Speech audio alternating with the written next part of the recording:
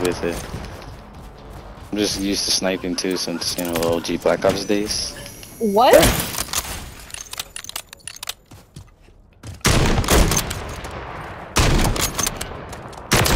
Oh. oh, fuck. one more kill. I'm hitting with the Morris.